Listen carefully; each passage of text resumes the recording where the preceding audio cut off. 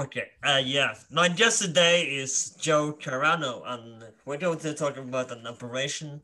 I don't know if many who study history are aware of, or who don't study history are aware of, because the operation is called Operation Valkyrie, an inside plot about assassinating Adolf Hitler. And I gotta ask, what what is it about? Because there've been two attempts to assassinate Hitler before, but they both fail. And what is it about this this attempt that is so make it stand out in front of the other two? Well, I think that the reason this one stands out is certainly Hollywood, right? The movies. Mm. Um, I think there's also a need for the German people to find a hero out of all of the horror in World War II. Um, so, so you have this, you know, this man that you know it's kind of been romanticized about, and he, you know, he risked his life and he goes into the Wolfschanze or the Wolf Lair in uh, Eastern Prussia, or now today Poland, and you know he plants a bomb and it blows up and he thinks he kills Hitler. And so I think I think really he stands spoiler out. Alert. Most, yeah, spoiler alert. but he's he's definitely, you know, I think especially when we talked about the Bryan Singer movie Valkyrie with Tom Cruise. It was very popular. A lot of Germans, some Germans didn't like it, some did. You know, a lot of Americans liked it. You know, it was a popular movie, and, and it was, I think, a pretty decent movie. But we also have to look at you know, Hollywood in its own kind of with their apparatus is a, you know, spits out a story that is not necessarily a hundred percent true. You know, I mean, and I want to ask, everything. How accurate is the movie? Not what you say. I, I, would think, you know, after I've studied Valkyrie for a, a long time, and I would say that, you know, it starts out in roughly 1943 and you know him getting wounded in North Africa, fighting with uh, the Africa Corps, um, and then moving into uh, his uh, role as I believe it was adjutant to uh, General Fromm uh, with the the Home Army. Um, and then the actual plot, I think it does a really good job. I mean, you know, again, it's it's it's you know, and then the actual executions you know, they're I think in the movie they're actually using the Bendler block, the the the area where the uh, where the military intelligence and the World War II naval building where he actually got executed. That I think they actually used that um, actual area in Berlin. But I would say, I mean, I like it. I like the movie. I just, uh, you know, like uh, we have discussed, it's it's more or less the backstory of what was going on that maybe is the kind of the confusing or the charcoal gray area of history. So, who was close Klaus von Stauffenberg? Who, what kind of person was he? Well, he well, first of all, he's an aristocrat. He's he's a monarch. Um, he is a he, you know he's a man with um, you know he's you know following the outbreak of of the war He's aristocrat. He's uh, comes from a military family. Um, he's believes in the the notion of uh, the Third Reich in the beginning. Uh, he participates in the he you know he's a decorated he's a brave man you know he participates in uh, what they call fall gelb the invasion of the low countries in france he's uh, but before that, he's Fall Weiss, which is the invasion of Poland. And then he participates in the invasion, uh, Operation Barbarossa. I mean, he's a family man. He's a, you know, decent human being that has his ideology based in the old aristocratic or monarchist uh, Germans. So he's not, he's not, I don't believe he's a member of the Nazi Party. I'm not too sure by the end of the 30s if regular army here or the Wehrmacht could join the Nazi Party, because in the early 30s there was uh, declarations that you cannot mix politics and military. So a lot of these guys aren't Nazi Party members. The Nazi Party members are part of the like the Allgemeine SS or the Waffen SS. You know the different uh, generals that are part of that paramilitary organization. Those are party members, and those are kind of the more fanatics that history tells us they're kind of more of the fanatics. But um, Stauffenberg, he's like I said, he's an idealist. He believes in a strong Germany. He believes in um, uh, you know that the Versailles Treaty was unfair to the Germans. He wants to retake the air, the, the lands lost from the Versailles treaties, parts of Prussia, like Danzig, um, east, you know, eastern, uh, western Poland. So he's he's a man that's, uh, you know, he's not quite. He goes to, I think, lieutenant colonel. He's, He's not. not. He's not Nazified. He's just supporting the the idea. Kind of. He is. He is. But I think one thing, you know, maybe if we could just talk for a minute about um, National Socialism. Of course. I think um, I think because uh, when we we got to break down these characters into you know the belief system of the day, and most of the conspirators were enthusiastic supporters of the Nazis. I don't know how much more I can stress that. And really, the goal of National Socialism is to consciously organize society, right? In accordance with the natural order, Darwinism. You know, um, it's it's the applications of the laws of nature to human affairs.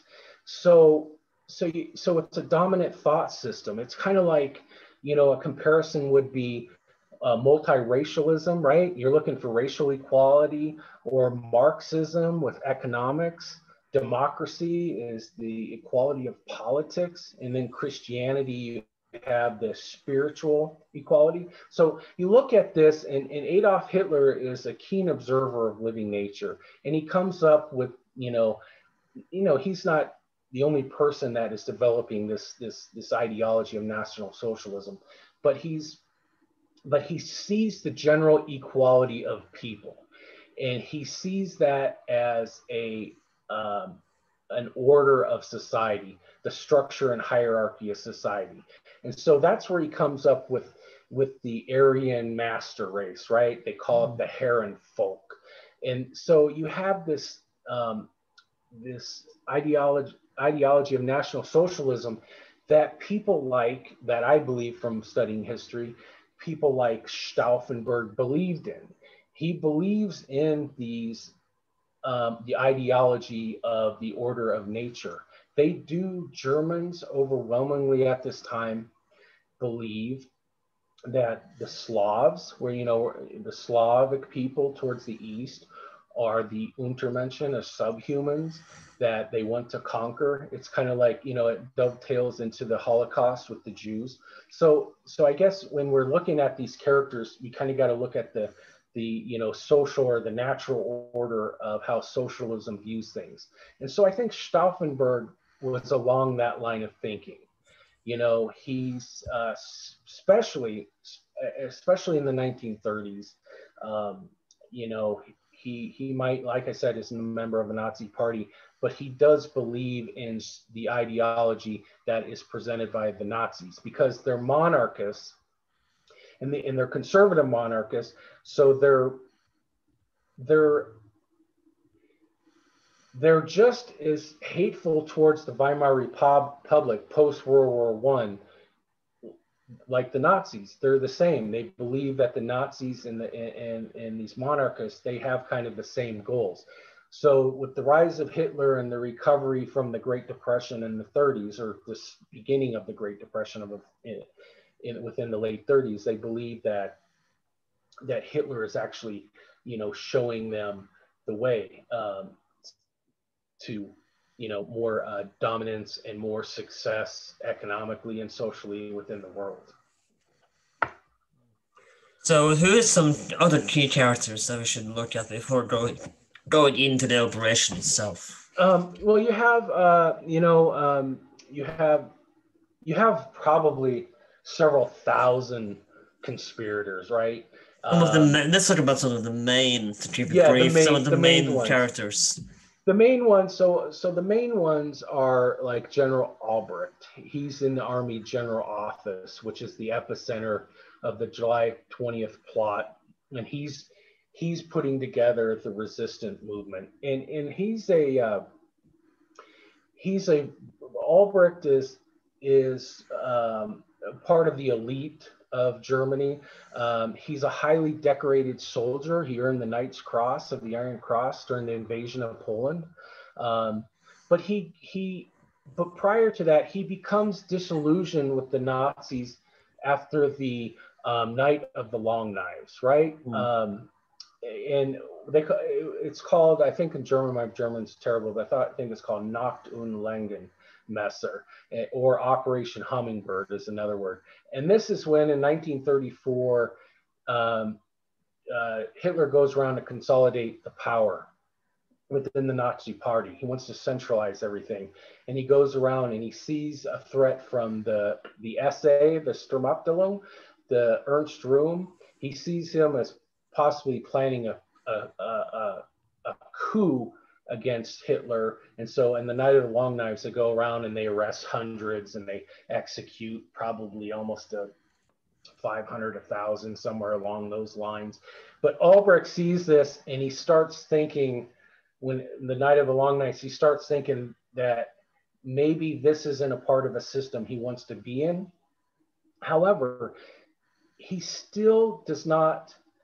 Uh, he still remains in the military and he still participates in because light of the night of the long knives and the night of the long knives is in 1934 and then you have the invasion of poland fall Weiss in 1939 and olbricht is part of that. And he even like i said gets the knight's cross of the iron cross. So he still believes in these um, the expansionism right? Lebensraum right? Have you heard right. that term? Um, so there's and then then you have um, the chief of the Army High Command, Ludwig Beck, and he's he's a he's chief of the uh, staff from roughly 1935 to maybe the very beginning of 1939, and and he's he's one of the people that uh, is part of the conspiracy that is going to negotiate with the allies after the decapitation of the Third Reich. Okay, he's going to go negotiate peace with France and Britain. But he is another interesting char- character too because he wants to keep a lot of the holdings, the conquered holdings, including the Czech Republic, or now it's the Czech Republic, Austria. He wants to keep Western Poland. So he he he wants to negotiate from a position of strength. But I think Beck is a bit delusional in everything that's going on because I don't think the Allies are going to negotiate with the conspirators. It's too late in the game. You know, it's July 20th, 1944. We've the Allies have already landed in uh, Normandy. Uh, they're they're already in Italy, uh, France. They've taken over North Africa. They're they're just about to liberate France and the lowland countries. So there's not really this, they don't have a position of strength to negotiate. The unconditional surrender is going to happen, but Beck thinks that he can still negotiate peace. And then you have you have several uh, field marshals involved. Three three of them they end up getting. You have uh, you have uh, Witzleben. Um, he's uh, a general uh, who becomes a field marshal after the invasion of France. He's another highly decorated army soldier. Um, you know, he wants to also uh, kind of along the lines of Beck, he wants to negotiate with the Allies to kind of save face and keep Germany from becoming uh, an occupied country. He wants to keep them from another Versailles Treaty, because this is another. This is where kind of the delusion is, is they think that they're gonna. There's another Versailles Treaty on the horizon, which astonishing it doesn't happen, you know. But so you have, and then you have like, he's not a main conspirator, but you have Field Marshal Rommel who ends up killing himself. He's kind of on the fringes of it. He knows about it. I think um, uh, there's another one. I'm I think it's Kluge. I'd have to look, but he's another one that's on the fringes of it and ends up killing himself. But they're they're these guys are all decorated field marshals that they're kind of on the fringes of the conspiracy. But as soon as the uh, as soon as Hitler's killed, they're going to pounce. You know, they're going to get on it and they're going to try to save Germany.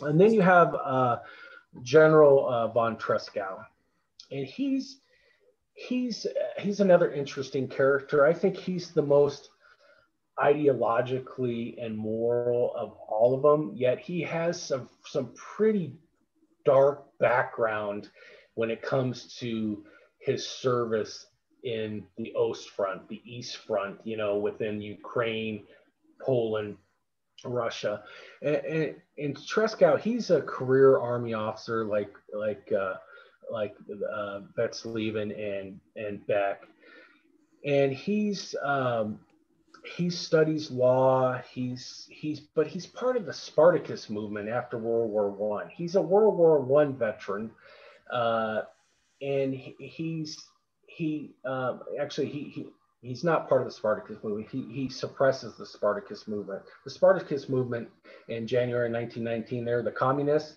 You know, what you really have after World War One in Germany is kind of a civil war where you got the Spartacus movement, the Reds, and then you got the, the Reichswehr, and then, you know, they're battling out for control of Germany.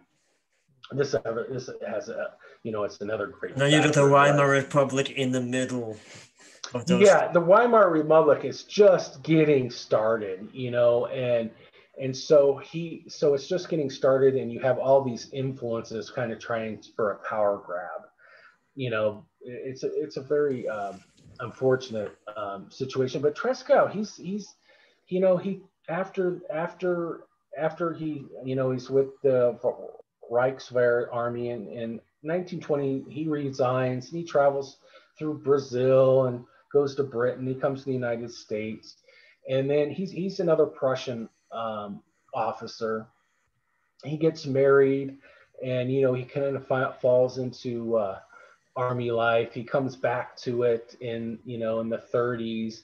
Um, eh, you know he's he gets his staff training in I think 1934, 35 uh, at the General Staff War Academy. Um, he's the best in his class. He's a real promising officer.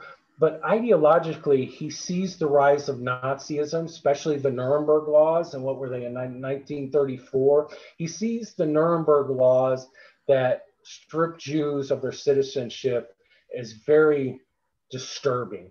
He doesn't, he doesn't, you know, it's very, it's, it weighs on his mind. And so he is one that he's starting to plot in the 30s even about trying to re- remove Hitler. But he's he also serves under one of the some of the most brilliant minds in the uh, you know generals, Field Marshal Erich von Manstein. He serves under Werner von Fritsch. He's he's has close connection with Ludwig Beck and so he he is very liked he's a very capable military officer but the, the complexity comes where he's also involved in you know the invasion of uh, operation barbarossa the invasion of russia. He take he's he's in he's part of the general staff of army group a under gerd von rundstedt and erich von manstein. Um, and that was actually in the, the invasion of France. He, he's in he, he's in the he gets to participate in the brilliant sickle cut Van Manstein uh, formulates to destroy uh, the British and French forces and capture France. So he's part of the Manstein plan when it comes to the invasion of, of France. But then he's then he goes into uh, uh he's with von Kluge and Fedor von Bock and a couple other field marshals with Operation Barbarossa, and that that's actually our Army Group Center. And so he's he's participating in in um, you know all of these operations. He's conflicted. He he sees a powerful Germany. He believes in Lebensraum. He believes that um, uh, Germany needs its living space but he's not quite um, a a complete supporter of the Third Reich. I would think von Stauffenberg was more of a somebody that was really on board with the whole, you know, rise of the Third Reich, but but um, Tresckow is in the wings. But Tresckow, what's important about him is he, him, and General Olbricht are the primary architects of the July 20th, 1944 plot. So those are the two, like you want to talk about the two main characters, those are it. Stauffenberg is a main character, but these two men are the architects. Yeah. I just I, I want to go back and Stauffenberg come back from uh, Africa, right? What happens then with him? How does Africa change Stauffenberg? Okay, so this is this is where the you know the charcoal gray area of history. Stauffenberg is very much in support of everything, but he goes into uh, it's around the the tail end of the fall, uh, about November December 1942. He goes into um, the uh, French North Africa. Okay, mm-hmm. I believe he's with the which is Vichy France with the 10th Panzer Division, and so there he's promoted to lieutenant colonel, and um, he's an officer in the general staff. And what happens? Um, he's he, he's there. He's he's at Kasserine Pass. Um, he's um, they destroy the Americans at Kasserine Pass. Um, they have some success there, but in but it starts falling apart. And by but on April of 1943, um, he's directing vehicle movements or something like that. And a P-40 Warhawk, uh, an American aircraft, um, which was I think flown by the Australian Air Force. Uh, bombs and strafes his unit. Uh, and what happens is he loses his right hand, he loses his left eye. And Doesn't he lose several... part of his left fingers as well? Yeah, he loses several. I think he loses two fingers, two or three fingers on his left hand. I might have it confused, but he loses his mm. right, he loses several, and he loses one of his eyes. I believe it's his left um, how he wore his patch. So he's he spends several months in the hospital, and I think this is what changes his attitude. I think he knows now, you know, uh, he knows for certain now Germany's going to lose the war. They just lost Stalingrad. The uh, there's the invasion of Italy. Um, and this is 1943 and he knows this they're going to lose the war. So this is when he joins the resistance okay? And how does so get, is, how does he get in touch with the resistance? How does he meet them? He was always during his um he he earns the um wound badge in gold and you know that's that's pretty high up. You got to lose an arm or a leg or anything like that. And um while he's in the hospital, um, he, through his connections, he learns of some of the plotters. Um, he gets introduced to them. I don't exactly recall who introduced him to the plotters, but I think Stauffenberg by 1943, when he was getting wounded, he's already disenfranchised or he's he's not becoming um, as hardline supporter of the Third Reich as he's been. So I'm that that's an area I'm not too sure how he gets in touch with them. Um, you know, he, he's a guy. He has a lot of connections. You know, he served under uh, many generals. A lot of generals are disillusioned with Hitler because he's he's uh, you know he's taking over operations he's doing the military strategy so somewhere in there he gets connected i wouldn't doubt that he already knew uh, tresckow and olbricht and possibly beck prior to him going to africa so he probably knows what's going on So, what? How does it feel? Is being treated by the Reich after he's he gets to become disability disability, if you call it that. Um, does it feel like he has no future? Does he feel like he had no future with the right after he was he lost his arm and he had?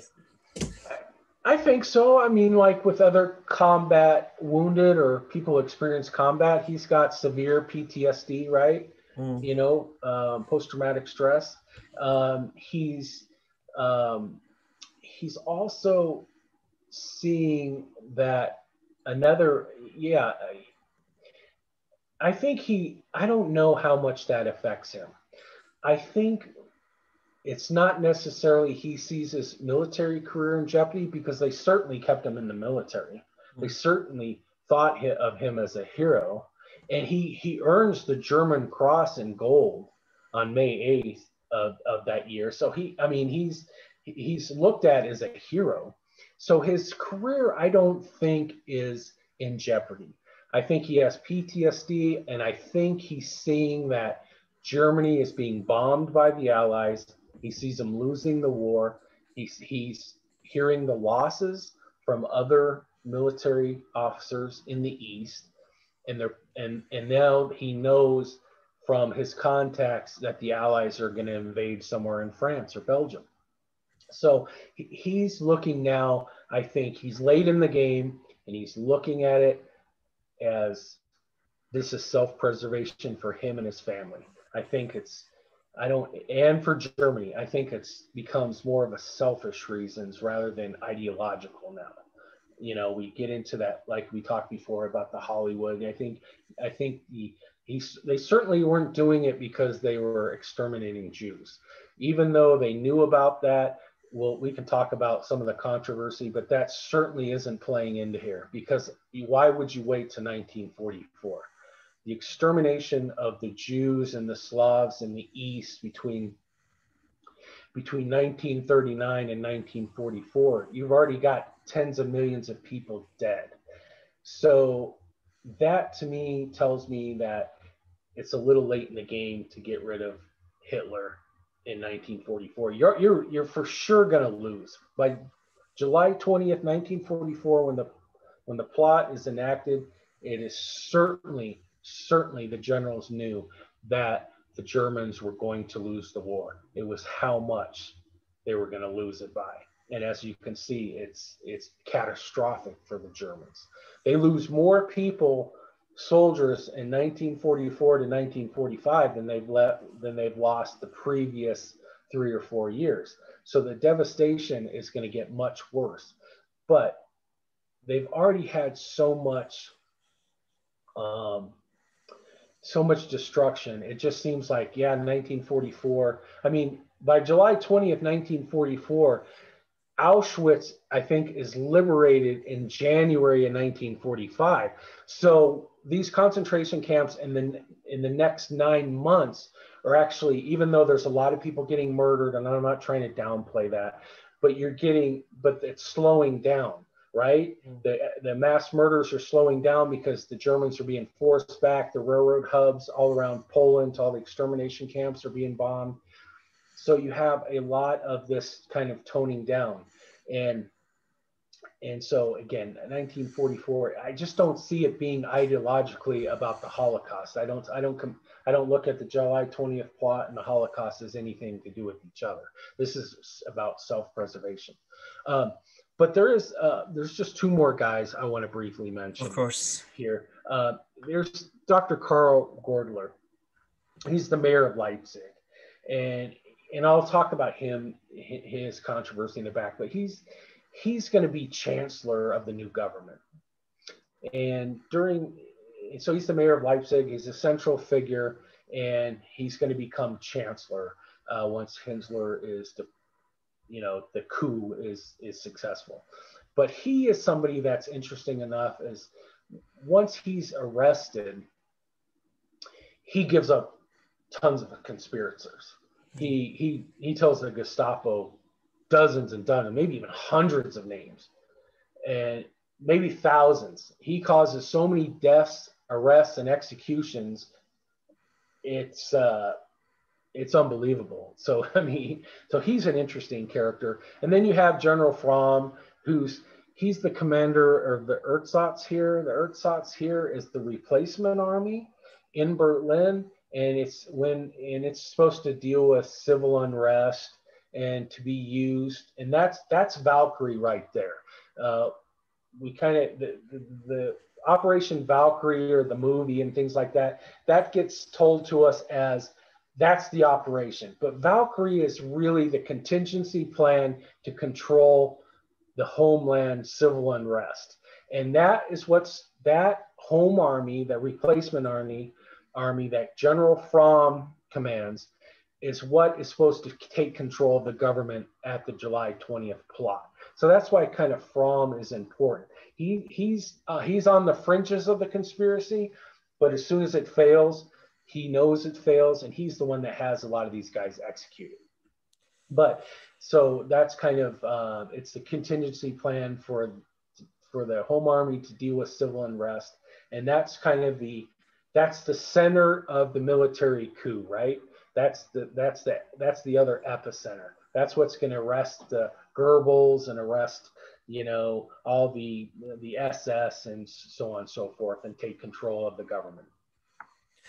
So, so yeah, how how did they get together and plan the plot? Like, how did they find out that is it difficult for them to get alone time? Just those the conspirators, or did it is, well, it a problem for them? Well, it's certainly a problem. Um, I mean, Hitler is. I mean, Hitler's. You know, he's like the cat with nine lives, right? Mm. I mean, he, he. I mean, like getting together to plan the the oh, operation. Oh, um, well, they, you know, there's different areas within Berlin, within the Eastern Front, between Tresckow and other conspirators. There's all sorts of places they meet to develop the plan. Um, there's, there's, um, there's, uh, you know, I mean, you know, people's homes. They have secret locations. I mean, it, it's, it's all, it's all, you know, doable. Mm. It's just a matter of taking something that's written on paper and implementing it, you know, in the real world, right? Mm. Um, if you want, we could also talk a little bit about, you know, just before we get into the the heart of the actual op- the day of yeah. Valkyrie, we could talk about some of the plots against Hitler. Yeah, of course. Because there's probably 15 of them that we know about. But you know, in in 1932, um, Hitler gets sick at a dinner in Berlin, and a lot of his other, a lot of his other, you know, Nazi comrades are also get sick, and they think he was poisoned.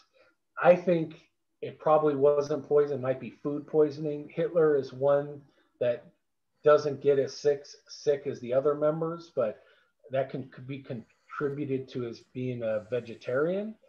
Um, so that is kind of one that I'm not too sure about. Some people say someone tried to poison.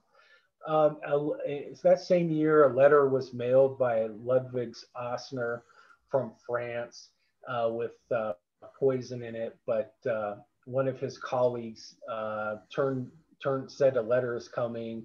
Uh, the security apparatus caught the letter, and nothing happened to Hitler. Um, uh, we talked about the Night of the Long Knives in 1934. Um, a lot of members of the Freikorps and the SA, um, they become disillusioned with Hitler, and a guy named Beppo Romer uh, tried to uh, uh, assassinate Hitler, but it was he was caught. Um, Beppo, interesting enough, is he ends up becoming a member of the Communist Party after being a fascist. Um, so he's disillusioned. Uh, between ni- 1934 and 1938, uh, there's probably another half dozen that were unsuccessful. What about the bu- bombing of the beer hall? Uh, the beer, the Bur- the Burger Brau Keller. Yep.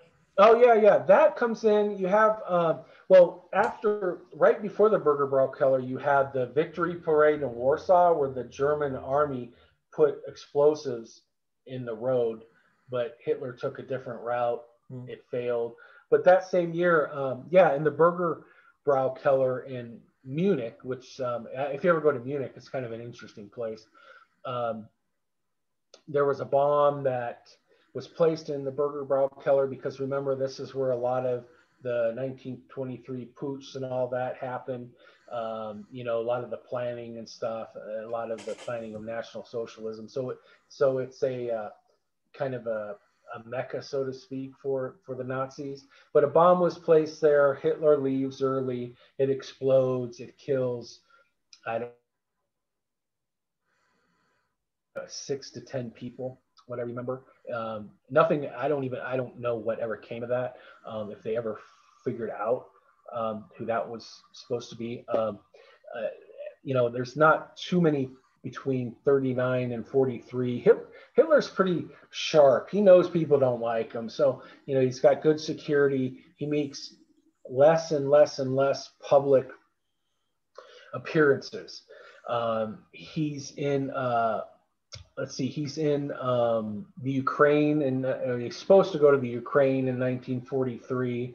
And uh, several army generals were going to surround him with tanks and arrest him. Uh, he never showed up, so that's another another thing. I mean, he never. And, and some of these that you read about, you, I'm not too sure if I totally believe these conspiracies. I believe there's a lot of people doing it, but I think there also might have been told after the fact when Germany lost the war. Um, but in but the uh, I think the one that probably interests you a lot that we talked about was when he was in Smolensk, Russia in 1943. And now we're getting into kind of Operation Valkyrie, right? Yeah. So he's in um, one second here. So he's in um, Smolensk, Russia, and he's inspecting the troops of Army Group Center, and von Tresckow's there, and uh, uh, who is the lia- liaison between Tresckow and Berlin, and Major um, a guy named Boeselager, if I said his name right and their plan was to once Hitler got there, they were going to surround him, and they were going to shoot him. There was also a, a conspiracy. Uh, they were going to do this in the woods, right? Surround him, execute him. That didn't play out because he started. What didn't so, what didn't play out as they wanted? Um, the well, when he gets to Smolensk, Russia, this is leading up to the bottle and the fuse that you see in the movie, the, the bomb in the bottle. Mm. Um, they when he's in Smolensk, Russia, he they're they're Tresckow and Schlabrendorff and Boeselager and several other generals and conspirators put together what was called Operation Spark. And this was supposed to spark a coup. And what happens is once Hitler gets there and he's walking in the forest, they are going to surround him and shoot him. Hmm. That never happens. I think because there's too many SS guarding him, and this plays into the conspiracy that is frustrating. None of these men yet were willing to sacrifice their lives. They weren't willing to pull the pistol and shoot him at dinner. A lot of times they disarm these guys, but the conspirators would only go so far.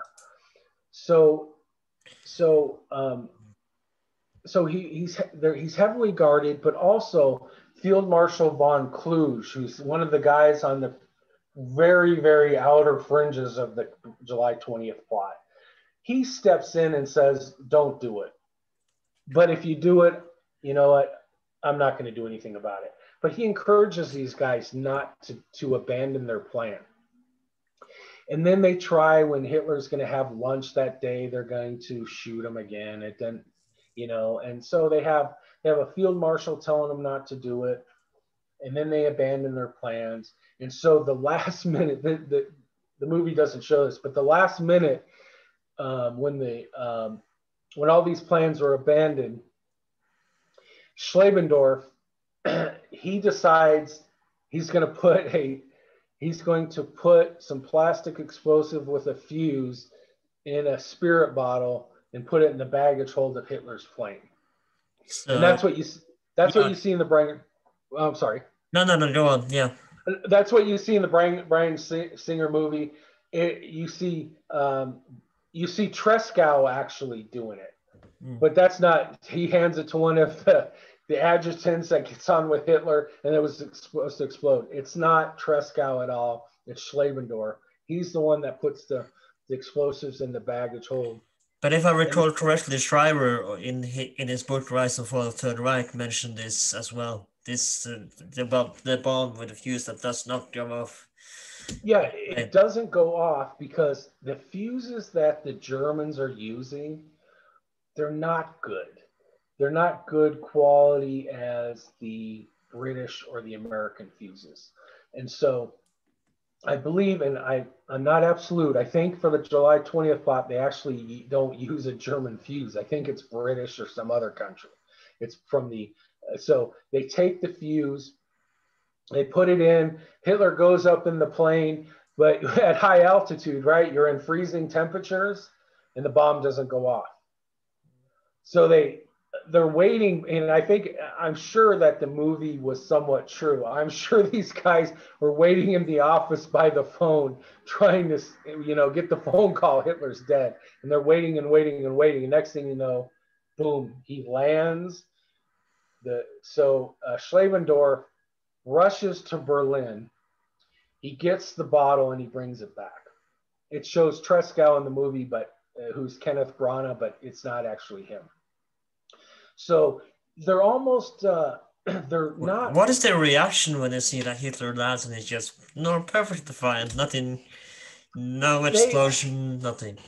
Well, Hitler believes it's divine providence, right? He he believes almost like you know an old king would say he was the you know ordained by God. No, but what, what is the brothers' reaction? What are the, what is the, their reaction when they see Hitler still is still alive? It, it's just you know it's disappointment it's like what how you know we can't kill this guy. But you have so they're disappointed they're upset but you have to look at their actions. Nobody is willing to actually risk their life like bring the day you know the bottle in the plane with you you know? Nobody's willing to do that. Nobody's willing to sacrifice their life to kill hitler. Do you see what i mean? Mm-hmm. I mean to be fair would you have I mean, I, I it's a good question. I mean, you know, we all have, you know, we're all human beings. I mean, I can't blame them. Um, I guess if I was, I'm not that way. I mean, you know, in the conditions where I live, I mean, if I was in the conditions of possibly, you know, a Russian or something like that, in the way the Germans were, you know, slaughtering us, maybe I would have risked my life then. But no, I, I, I just, I guess I, I probably wouldn't have done it either, hmm. you know. Yeah, but, same. You know, you know, I mean, but, but looking at it as a historian, and it's they're so invested in these plots. Hmm. They hate hate Hitler and his regime so much. I just they none of them are willing to do it. However, however, in 1943, uh, a guy named Axel Streithort, he comes up and he says, I'll do it. I'll blow myself up. mm. So you so you have a guy, he said he's gonna go into the wolf lair and first of all, for those who may not be familiar, what, what was the wolf's lair? Just a uh, brief uh, uh, explanation here. Oh, sure. The wolf's lair. Okay, so you, it's now in.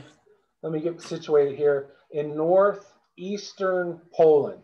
It used to be part of Prussia, but the Wolf's Wolfschanze or Wolf's Lair was his was Adolf Hitler's forward operating headquarters. It's where uh, people like Alfred Jodl, uh, one of his uh, one of the guys actually in the room when the bomb exploded, uh, Alfred Jodl and and a lot of his other high-ranking army generals would do all the planning for the the further invasion of Russia. That was their main headquarters. So Hitler flew there all the time. He spent a lot of time there. I think he also had one called Werwolf, and I think that's somewhere in Ukraine or that area. So, but he didn't go there much. But it was the Wolf's Lair in the Berghof. The Berghof is, you know, his mountain retreat uh, in Berchtesgaden in southern uh, Bavaria, where he spends a lot of time. You know, you see a lot of the Eva Braun. You ever been on YouTube and see her filming everybody? That's that's the that's the uh, that's his uh, retreat in um, in uh, Bavaria in the mountains there. And then the Wolf's Lair or the Wolf Slayers in in Prussia, which is now Poland, and it's a series of concrete bunkers that it has a completely like uh, it has inner outer way outer security and and hitler would go there and plan and get updates from his generals he spent quite a bit of time there so so I think in the I think in the movie it was Stauffenberg who meet Hitler in the in his home. How the how does he get to meet meet him and sign Operation Valkyrie as it was well, it was kind of his idea, right, to make Operation Valkyrie a thing. Sure, but, I think there's key, three uh, key players in that. Um, uh, you have uh, von Stauffenberg, who is uh, you know working for General Fromm, and General Fromm is the guy that will, you know, who will uh, command the, the home army that will take care of any civil unrest. And that's Operation Valkyrie is to implement that. And so, so the changes were, and so you have Stauffenberg as his adjutant, works for him. But he needs Hitler's signature, right? He needs to have his approval personally. Oh yeah, yeah. They go and, and supposedly they have it signed. Uh, Hitler doesn't read it, and they, you know, have the revisions done so they can actually, uh, you know, kind of tweak how the the implementation of Valkyrie will happen. And that is signed at the the the uh, Hitler retreat in um, in Berchtesgaden. Now, according to some sources, they say that he is disgusted by the team that Hitler is with, the Nazi inner circle. Is that? Do you think that is true that he was disgusted by this inner circle of, of Hitler? personally. Um, could could you repeat that, please? So in, in several sources, in sources, they say that he was uh, disgusted by Hitler when he when he met him personally, and that he and, and out of the inner circle. Do you think there's a truth to that? To that? Well, I think so. Um, I think though, um, I think he's disgusted with him by 1943. I don't think he's. We're talking about Stauffenberg, right? Yeah. I don't think he's disgusted with him when with, with the successes in Russia, in France, in Norway, in Denmark, the lowland countries. He, he's not disgusted then. He's disgusted now because they're losing. Hmm. And then he sees Hitler making a series of mistakes. And one of the series of mistakes that really disgusts uh, von Stauffenberg is Hitler's lackadaisical response of a invasion of the Allies in France. He, but you have to understand, Hitler compartmentalizes every single person, Goering, Goebbels, Keitel. He, he, he, he just gives so much information, so much information. But in turn, these guys all want to please him so much. People like Goering are assuring Hitler that an invasion in, in Normandy or the Calais area, right, is not going to happen because they'll they'll repulse him and slaughter him on the beaches. So he has all his generals telling Hitler what he wants to hear. So von Stauffenberg knows this, and he knows that Hitler is making these mistakes and just being lackadaisical about his response. And that just infuriates von Stauffenberg. But it infuriates him only when they're losing. You see what I mean? that's where I think the history is really gray is that everybody likes a winner, right? Until something goes wrong and then that person get blamed. Well, it's this all starts to happen around with Stalingrad when you know the what was it the Sixth Army um, uh, is uh, is surrounded in Stalingrad and destroyed by the Soviets. Um, uh, Field Marshal von Paulus is the, the leader, and he's told to resist until the last man, and he ends up surrendering. But they could have escaped St- Stalingrad was an absolute complete Hitler bungle of the war because he took resources to destroy Stalingrad simply because it was the name of Joseph Stalin.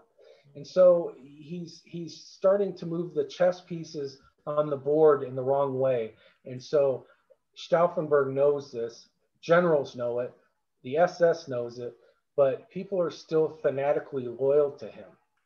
So I think I think I think it's not until 1943 and then when von Stauffenberg gets wounded with the Afrika Korps in North Africa that then he becomes disgusted.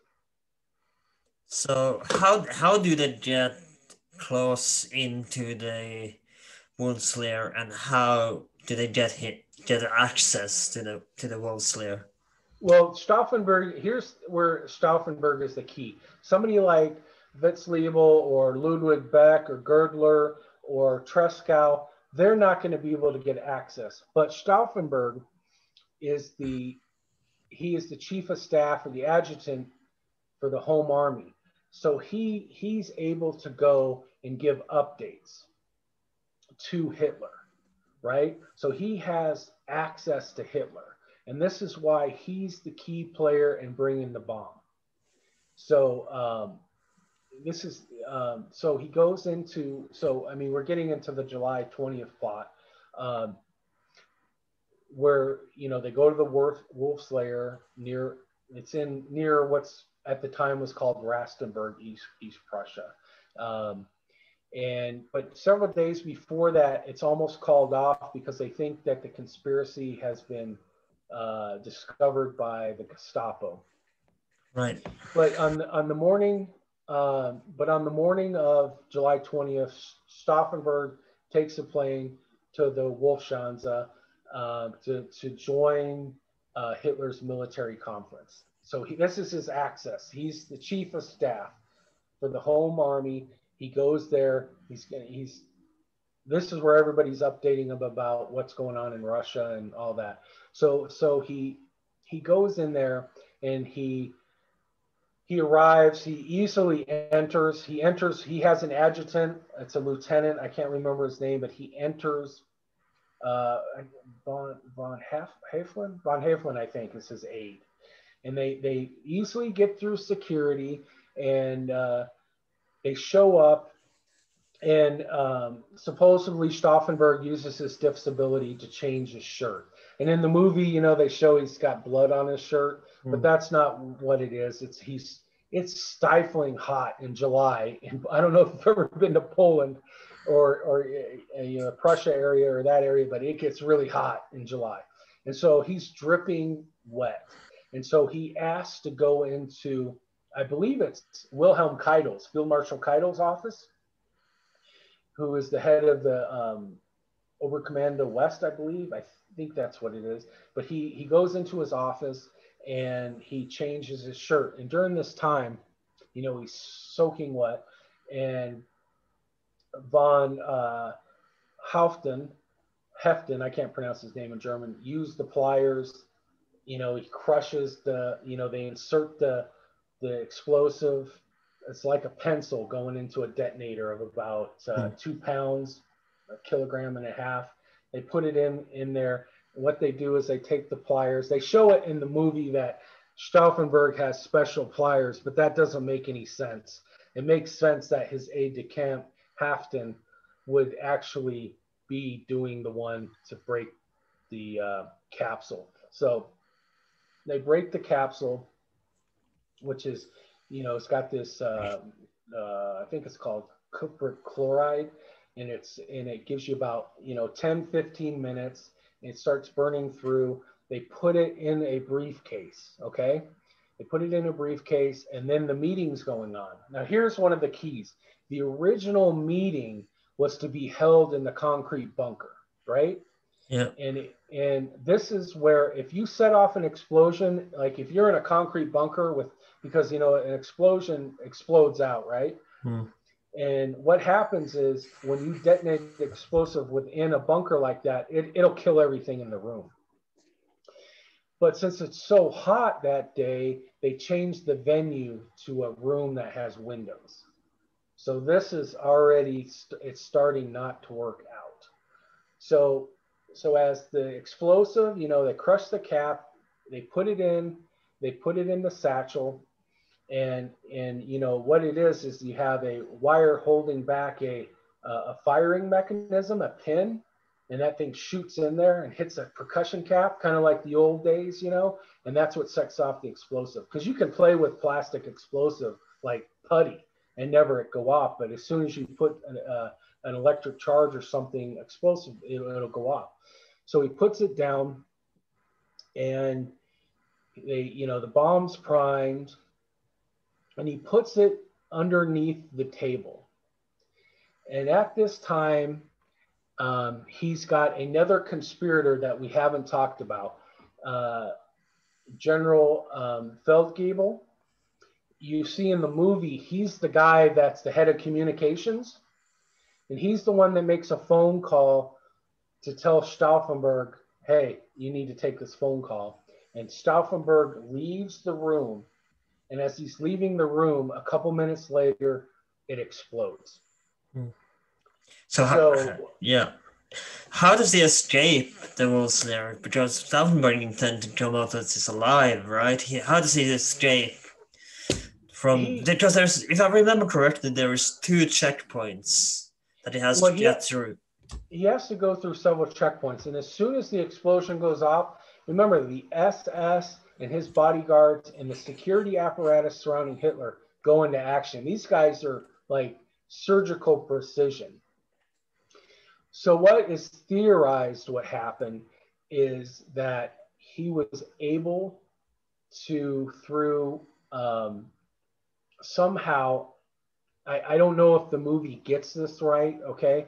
Somehow con his way past the guards, whether it's a fake phone call or or what he does, but he somehow gets beyond there. I it, it, I don't know if I, I think it was a phone call, but I don't know if we will ever truly know what actually how he got through there.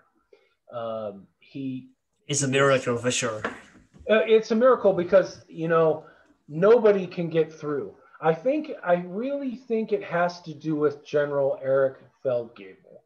I think somehow he relays a message and gets him past the guard post. You don't think you bribed sure. them? You don't think you bribed the guards with money or no? I I honest I think I think when you're talking about these these SS men, these are the the pinnacle of the the Schutzstaffel. You know, they are guys that not going to be easily bribed. These guys are fanatically loyal to Adolf Hitler, and they would have done anything to stop anybody from leaving. So it, it's it's really like you said, it, it's a it's a miracle he got through there. But I think it has to do with Eric, uh, General Eric Fellgiebel, and he's the communications officer, and and um, he is and kind of just briefly on on Fellgiebel, he's a real interesting guy. Hitler doesn't really trust him, but he's a brilliant person. He's the one that helped set up the Enigma sh- machine, you know, the secret codes the Germans mm. were able to send. Uh, he's the one that helped implement that.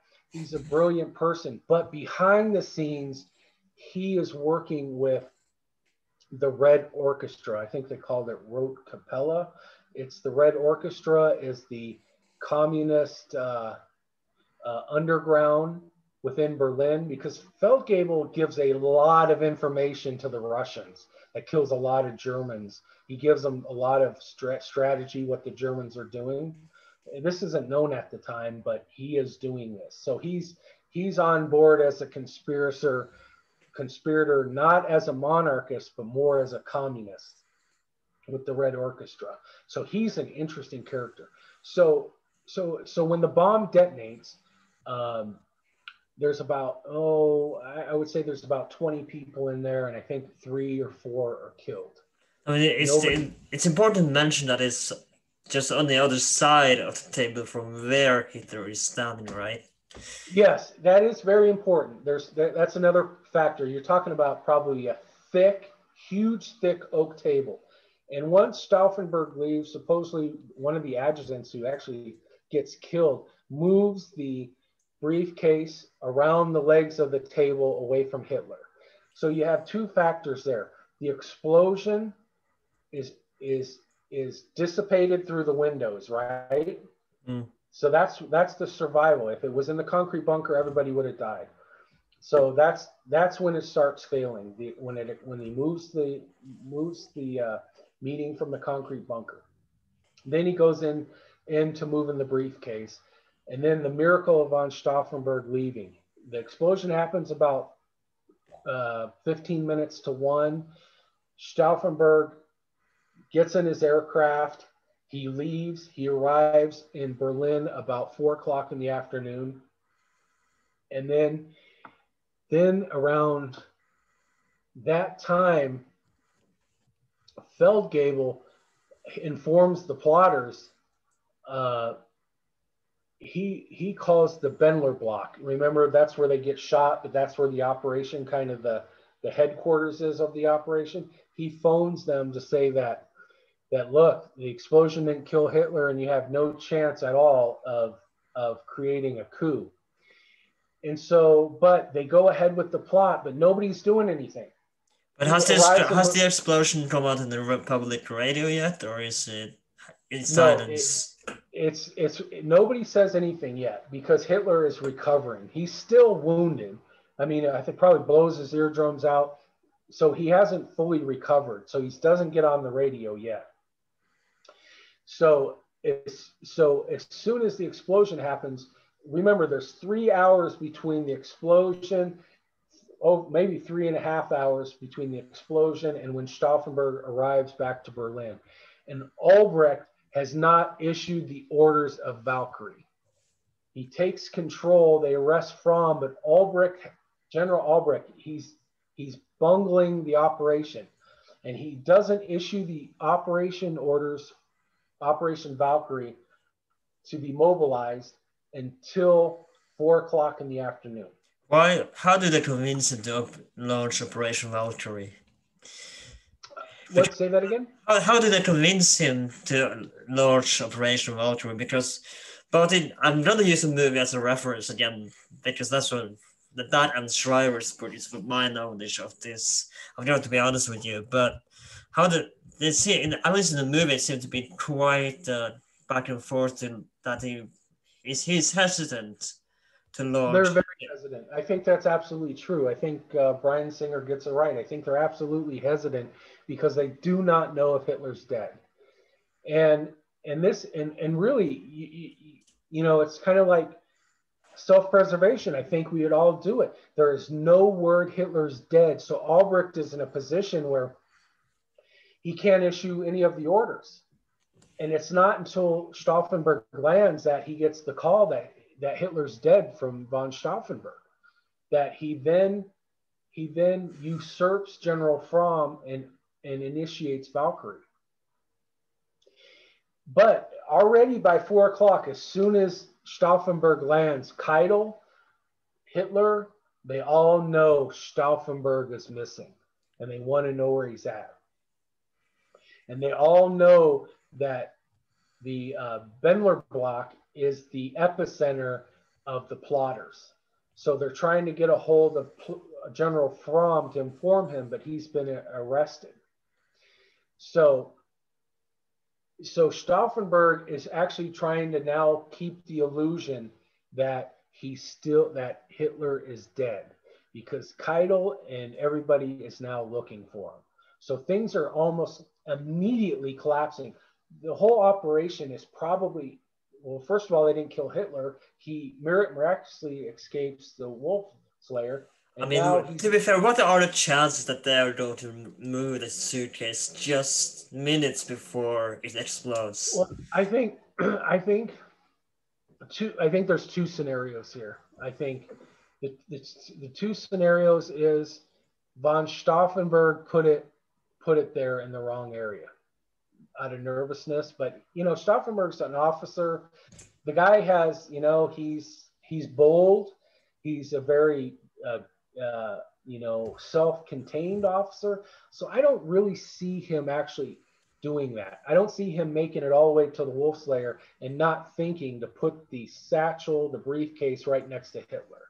Mm. There's always that chance that he did. But I think the more reasonable assumption is it was in somebody's way. You know, when you're leaning over a table and your mm. feet are hitting a briefcase, that something happened where the briefcase was grabbed and put around. So I think, I mean, it's one of those things that, you know, this is, it's, it's like you know one in a billion. It, uh, it's just another one. Miracle. One of the billion happened. Yeah, that it happened. favor of in favor of Hitler. Yeah, so I mean, like I said, two things. Stauffenberg put it in the wrong area, but I think more reasonably it was in the way. He didn't put it far enough under the table, probably. Hmm. And when you walk up to a table, you know, you look over a table, your feet are probably hitting it and it was moved. And that's what happened. So, so what happens when they finally launch Operation Valkyrie, that the Marshall Plan to for the military takeover? What happens then? Well, they once they initiate Valkyrie, the home army goes into effect, and what they do is they put out a notice to the home army that the SS is trying to to uh, that it's a coup of the SS trying to take over from Hitler. They don't know Hitler's dead or alive. They just know well they think it's a coup and they're supposed to suppress the coup and take over the SS headquarters. They're going to arrest they're going to arrest uh, Goebbels and but it doesn't even get to that point they initiate Valkyrie and it falls apart. It's oh, how long after is how long does it take after they launch the operation? Um, it's between. You mean to, between the ex- explosion and when they give the phone call that you are going to take a launch Operation Valkyrie now, and then oh, the home army goes in. You're talking within an hour it, it mobilizes quickly. I mean, you're talking about guys that constantly are drilling for this, doing military drills. So it's within an hour, it's mobilized. But within that hour that it's mobilized, it's falling apart. But you have, but you have, uh, it falls, I mean, it's interesting. I mean, by the time Stauffenberg gets there, Olbricht makes a phone call to do Valkyrie at four o'clock and by six o'clock, it's all almost completely dead. It's almost completely gone. I mean, it completely collapses on them because because um, because because within this time of of the hours it took for if they the key is here is that Valkyrie should have been initiated as soon as the explosion occurred they lose a three hour window. And with that three hour window, Keitel and Himmler, they all know about it. And they're already now uh, starting to uh, uh, counterman the orders, right? So within within uh, the two within Olbricht initiating Valkyrie at four o'clock and six o'clock, Keitel and Himmler and everybody else is already countermandering all the orders of Valkyrie. So it's it just collapses. So is, is the home army skeptical at, at this at all? The question is, or is it no no question at all? They just go through with this. Well, you know, under authoritarianism and, and you know, and, and with the German, the German is taught from the very beginning of their life to follow authority, right? From teachers to generals to politicians so they're following the order to the T. They're not. I'm sure. I'm sure the commander.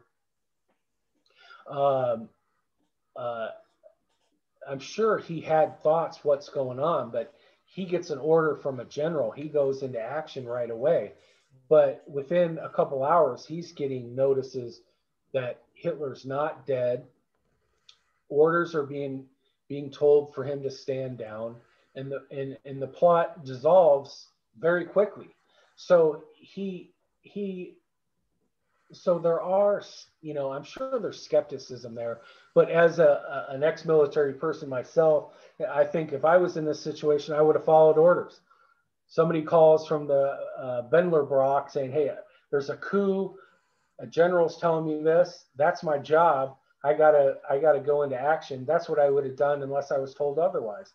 And he's told otherwise. All these orders start to come through that to start ignoring Olbricht's orders, von Stauffenberg's orders, Beck's orders, everybody. It, it, it happens so quickly in the amount that we're actually talking here. Imagine that within an hour or two, that is how the fast the plot collapses. Mm. So about the length of this podcast. yeah, exactly. It, it, and so that's kind of you know, so it tells you that it really was bungled from the time it exploded or the briefcase moved, right? wrong building the you know how the planets align for you to make everything work out right you know so to speak mm-hmm. nothing works out here and so you're talking um, so now you're talking by uh, 1800 or 6 o'clock in the uh, early evening there already nobody is listening to orders anymore so what now, happens yeah go on oh no so so now you have now you got soldiers and the Waffen SS coming to the Bendler block, the headquarters. Mm. Now we know what's going on. Now we know that somebody tried to have a coup and kill Hitler. So by seven o'clock, Hitler's fine. He start he starts making the phone calls.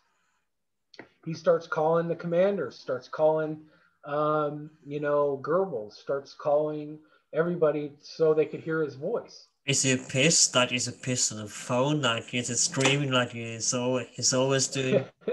kind of like. Uh, uh, I'm sure he's trying to catch. Yeah, I'm sure. That's my German. I'm sure he wasn't happy. But also another thing to remember is that the Valkyrie was also going on in Paris. You know, they were arresting SS officers, they're conspirators there. So this was a wider than just Berlin and Germany. It was all throughout the, the, the you know, the kind of the pan-Germanic empire here. And so, but, but, I mean, by about eight o'clock, it's over. It's completely over. I mean, uh, the SS and the, the, the German army is already in, in the Bendler block they they free General Fromm from arrest. There's some fire exchange. Accordingly, Stauffenberg gets wounded, and and it's over. And and now the conspirators are completely overwhelmed. So what happens and, to them then? Do, did they attempt to escape, or are, did they realize this is over? Are they trying to t- kill themselves, or no, did they wait for to get attacked? Arrest, no, arrested. They, they were um, they were arrested. And the interesting thing is General Fromm is on the fringes of the conspiracy. He's not involved in it, but he kind of knows that something's going to go on. And he's an opportunist, an opportunist, right? So mm-hmm. he's going to blow with the wind here. But but um, he decides he's in self-preservation mode. So he arrests Olbricht, Stauffenberg, Stauffenberg's aide de camp, Haeften, uh, a guy named, uh, uh, I believe his name was Quirnheim, uh, Ludwig Beck.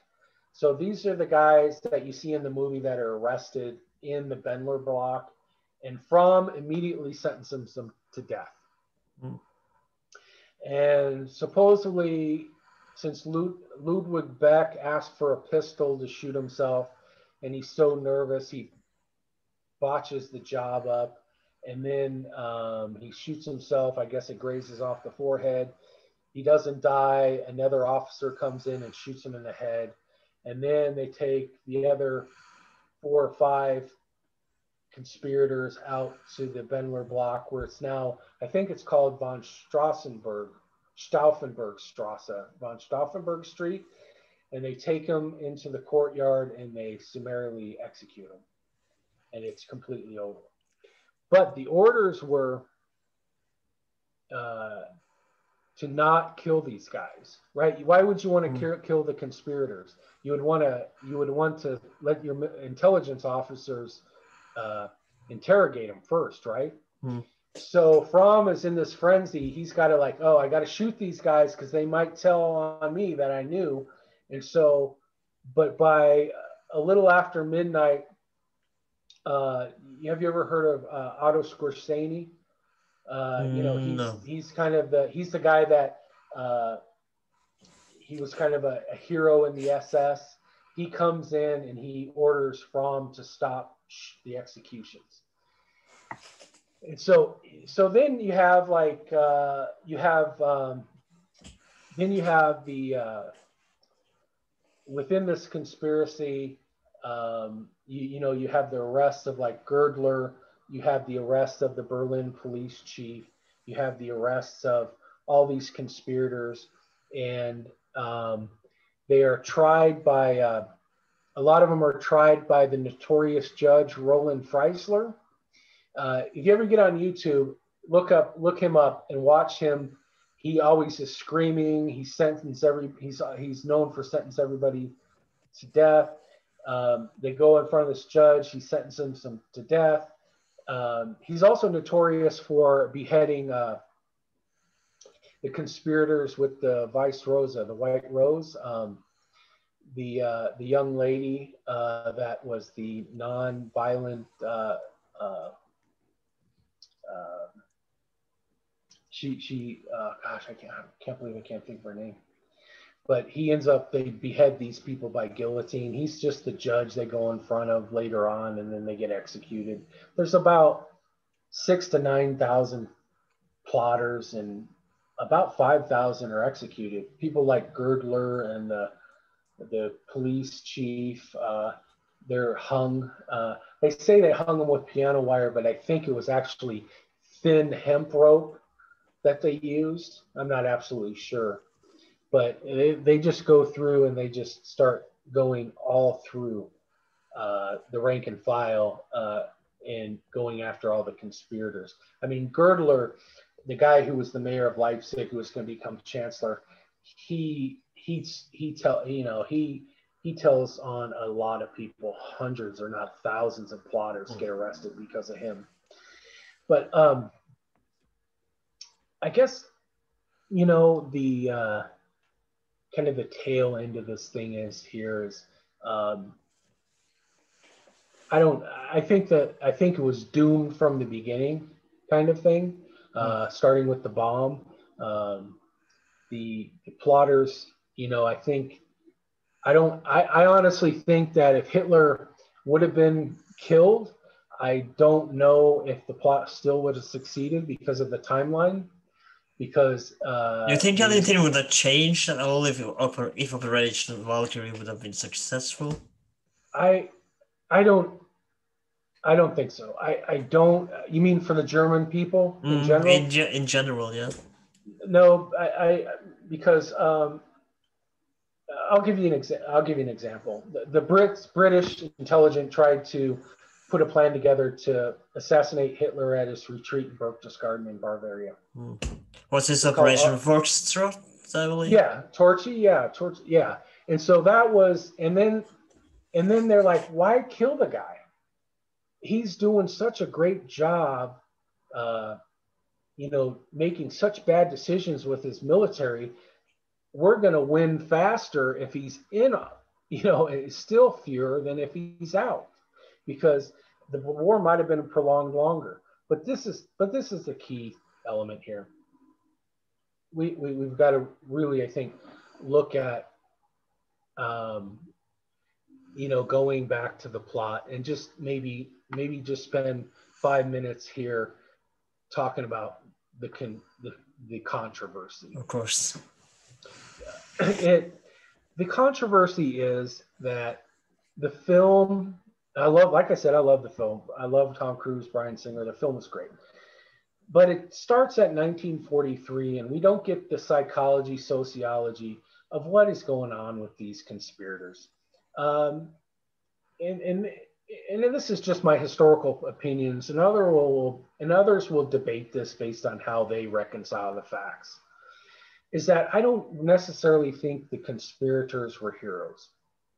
Because you got to kind of remove yourself from the Hollywood romanticism and kind of the German folklore about the conspiracy. Because the conspiracy, uh, as the saying goes, and I don't I don't know if they say it in Norway, but as the saying goes, you know the tail go, grows taller down the line through generations, right? Mm. You can make somebody a hero that not necessarily is a mm. hero.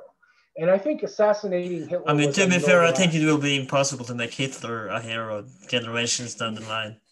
No, not not not make Hitler a hero, but make the conspirators a hero. Mm. I think I think removing the I think uh, it's it's it's kind of a it seems kind of harsh, but in this short time, you know, the Germans uh, appeared to be you know a little bit desperate for a hero, and in the 1960s, the conspirators added legitimacy to a new new German armed forces, the Bundeswehr, right? Mm because in the 50s, the conspirators were still looked at as traitors.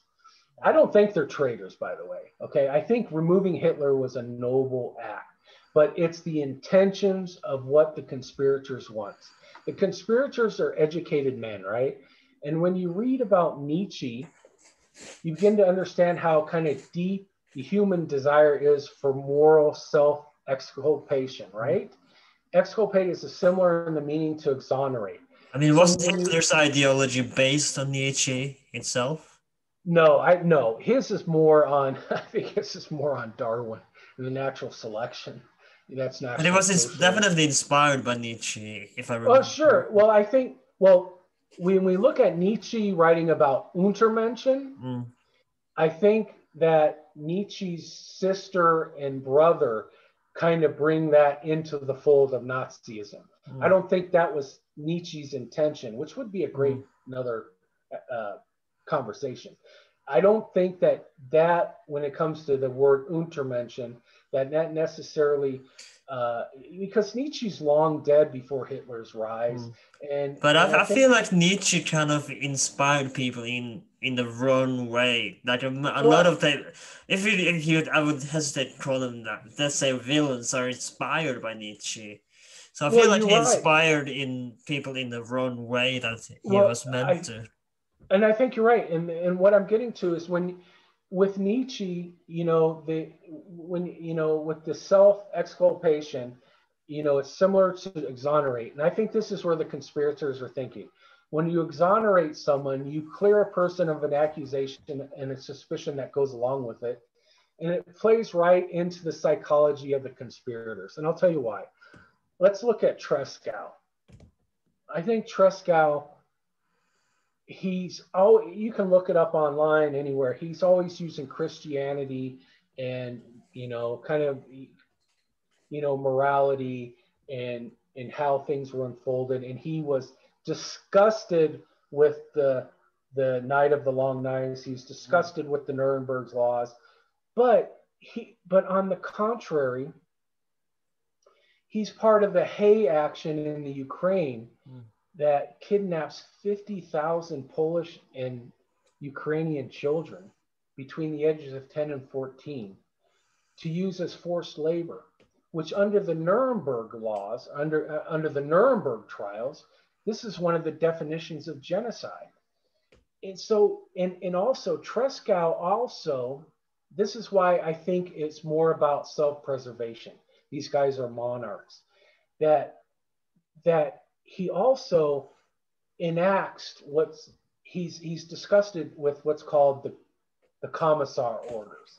And that was Hitler made an order that every Soviet commissar in the East should be shot and murdered immediately. He was disgusted with that.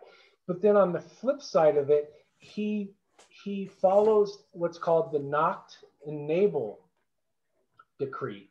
And this decree says that anybody conspiring against the Germans in foreign lands should disappear, should be shot, should be murdered. Um, and, and Tresckow, he follows the Nacht und Nebel, he follows the Hay action. He, he, he, he's doing all these things leading up to the conspiracy to kill Hitler. So I just don't know if using, you know, 50,000 children for slave labor within Germany's workforce is is the morality of of somebody that has other intentions when it came to Hitler. Do you, do you understand what I mean? Yeah. They're doing things. They're doing things. It's kind of hypocritical in a sense. It is very hypocritical, and I, again, like, I, I, it is a noble cause to kill Hitler. I mean, I don't fault them for that, but the intentions of these guys wasn't to to just just dissolve, you know, the Third Reich and give up.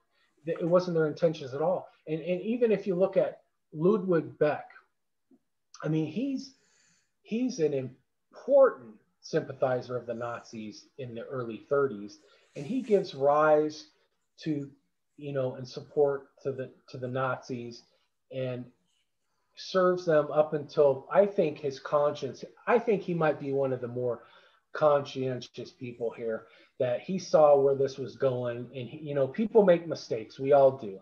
And he looked back and he said i made a big mistake. Mm-hmm. but he also is you know he also is a, a supporter. But i think but i think here we have to look at you know the the the person that really is the hero in all this and that's colonel klaus von stauffenberg. Mm-hmm. uh, and i just i look at him as as here's the thing is he, he's originally was an enthusiastic supporter of the Third Reich until they're losing the war in 1943. And I think he he's was, hypocritical himself as well, in a sense. Sure, he's hypocritical because I also think, and I know this will probably cause a lot of people getting upset, but I think he's also a race supremacist. And I'll tell you why. He believed in Lebensraum. He believed in enslaving the Poles as agricultural workers, and he and believed that they were Untermenschen. Mm, so, so trying to bring trying to bring serfdom back into the into the Third Reich. Yeah, yeah, exactly. I mean, use these people to as workers. I mean, the letters to his wife are evidence of the pathology of when he was in of his pathology in Poland. And I've never seen the actual letters. I've requested these, and I've never. I don't think they're they're out there, but I've never seen the actual letter. But like I said, the the, the narrative, um, the, the, when Stauffenberg in 1935, excuse me, 1939, writes to his wife when he participated in the invasion of Poland, and he expresses his views on the Slavic people as Untermenschens and slave laborers. And this is what he says. The population is an incredible rabble. There are many Jews and half breeds. These people feel good when you control them with a whip. The thousands of prisoners will do our agricultural economy good.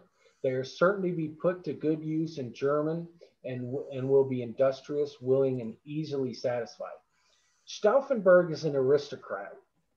And, and so he also, I think, believed believed that all men weren't equal. I think he believed in the National Socialist cause. He believed, certainly as an aristocrat, he believed in natural hierarchies and he believed that they should be respected. I mean, his, his brother, who was also a conspirator, Berchtold, he approved of the Nazi racial policies.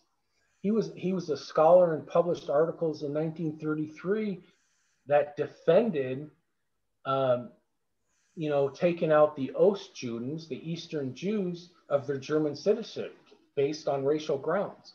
So this is where, and I would love to have a, a, you know a discussion on this too. Of course. You know, may, maybe I'm wrong, but when I read this, when I read this letter to his wife, I see this as an air of race supremacy, and mm. as you know, and I see it as you know the Slavic people are looked at as the lower subhumans. Yeah, which is bullshit, with, of course. Yeah, yeah, along with along with along with Jews, and so. I, mean, who think, the hell likes to be controlled by a whip? Yeah, well, exactly. But this is, but see, this is where this is where it's like I you have to look at prior to when the the the, the Bryan Singer movie takes off because these men believed in the colonization of Poland, not just reclaiming the territory they lost in the Versailles Treaty, but they believed in enslaving people. He was, I think, Stauffenberg was appalled by the mass murder Jews, mass murder of Jews. But that's where this hypocrisy, confusing gray area of being a hero comes in. I just don't see that how somebody could want to be disgusted on one end, and enslave a people on the other, or like von Tresckow, uh, kidnap and enslave 50,000 Polish and Ukrainian children and put them to work as slave laborers. I just don't see how the morality of the romanticism, the, the morality and the romanticism of this. It's trying to ruin the romanticism. Yeah, it, it, does because we have to look at what these guys' in, intentions were to do. They wanted to, they uh, some of the plotters, some of the intention was to make peace with the Allies, but continue the war against the, the Slavs, the Russians in the East, and keep that territory.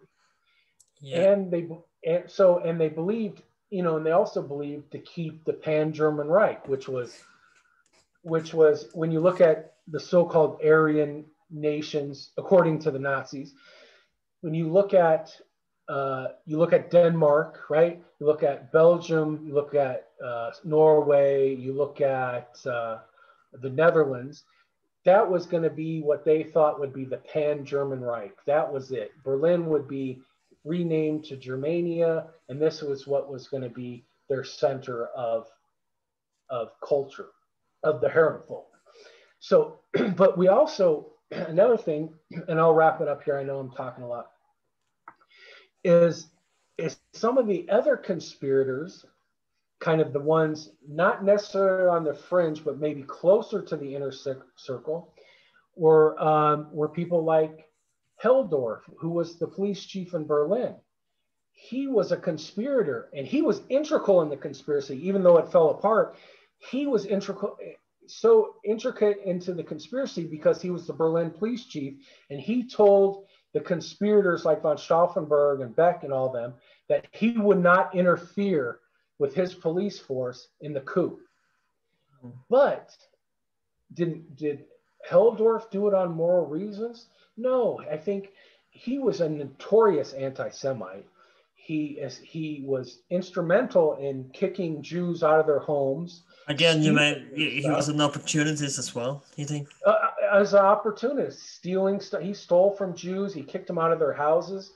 Um, he was instrumental in helping the Nazis he was also, you know, notorious for his gambling debts, and he and he did this to very wealthy Jews, stole from them, and and another person that I think we should focus on that that you know we don't want, we want to focus on just a few people, but we want to go outside and we want to look at somebody called Arthur Nebe or Nebe. And he is one of the conspirator, conspirators He's not a central conspirator, but he's on the out, outside of them. And this man was an SS officer that led Einsatzgruppen B on the Eastern Front.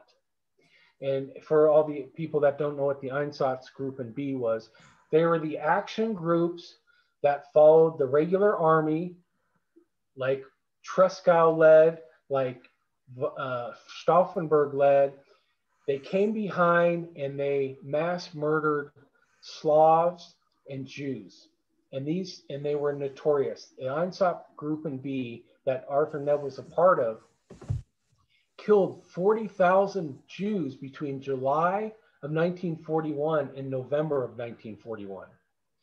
He was the if you ever get a chance, just look up the Einsatzgruppen. These are just they're mass murders. They're the ones that they began the Holocaust with bullets. They they killed millions of people, um, and they they were the ones that were instrumental in conducting the Babi Yar massacre in the Ukraine outside of Kiev, where they lined up 40,000 Jews, Ukrainian Jews, and they dug these trenches and they shot them and then buried them in the trenches. matter of fact, I'm, I'm going there next month um, to it. But this was the Einsatzgruppen.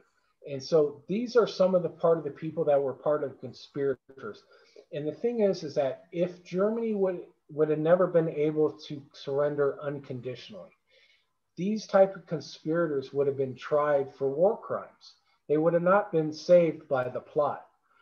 It, there is a chance that Tresckow would have been tried as a war criminal for his actions under the, the Nacht-und-Nebel decree uh, and under the uh, kidnapping of the children. He certainly would have been wanted to be, the Soviets would have certainly wanted to try him and the Poles. And Helldorf, the police chief, Beck probably would escape from it. But I you think, think Stauffenberg would have would have gotten away with it, or do you think he? I think Stauffenberg. Look, I think Stauffenberg. Uh, he wasn't a mass murderer. He didn't mass murder people. I think uh, you know he had him and Tresckow. Tresckow, you know, I think he was in a position as a general, but I think von Stauffenberg would have never been tried for anything. He was an army officer. He, you know, served his country. He, there's a chance. I don't know. I don't think he was anti-Semitic, but he was certainly had some ideology of race supremacy when it came to, came to the Slavic people on the Ostfront, the East Front. I don't think he would have been sent through the 12. There was 12 Nuremberg trials. I don't think he would have been a participant in that. I think he would have probably lived out a very healthy life. But I think people like Helldorf, uh, Neba, the Einsatzgruppen commander, I think Tresckow, I think those types of people within the conspiracy would have been tried for war crimes. I think they might not have been tried in Nuremberg, but they might have been tried in like Warsaw or other places, maybe Kiev. But uh, Neb, who was the head of the Einsatzgruppen B, I think you should call him Neba or Neb, but in Einsatzgruppen B, he would have certainly been tried for war crimes. All the Einsatzgruppen were tried. People like Otto Ohlendorf, all of them. Uh, they, but he ended up being, I think, hung or shot prior to the capitulation of Germany in 1945. He was shot by the Germans for his role in the conspiracy. Uh, Goerdeler, who was, uh, you know, I think we already talked about him, but he, he would have been the chancellor. But he's another interesting character because I think. I, I, actually think we, I think we talk, I think we don't have to wrap it up right now because at, at the time of this recording, where I live, it's 1.30 a.m. So I think we're gonna have to wrap it up right now. But thank you so much for coming. It's been a pleasure to talk to you. Do you, before you go, do you have anything you wish to promote? Anything, uh, any social um, media where people can find you, or if you? Um, no, I just um, I do a lot of uh, historical work for uh, museums and things like that, and I'm writing a book on the sociology of the Third Reich, but. I don't really have anything to promote. I just uh, enjoy talking uh, history of the Third Reich. Thank you so much for coming. And next time we will continue operate our operation for, on this podcast with Operation Paperclip. Thank you for so much for coming. You can find us on Instagram under red.h12, Spotify, Apple Podcasts, wherever you can find podcasts. And uh, if you like this episode, check out some of the other episodes we got as well. And we got some really good episodes coming up. So make sure you stay tuned. Thank you for coming. And my name is Erlend. This has been Is Well, and I'll see you next time.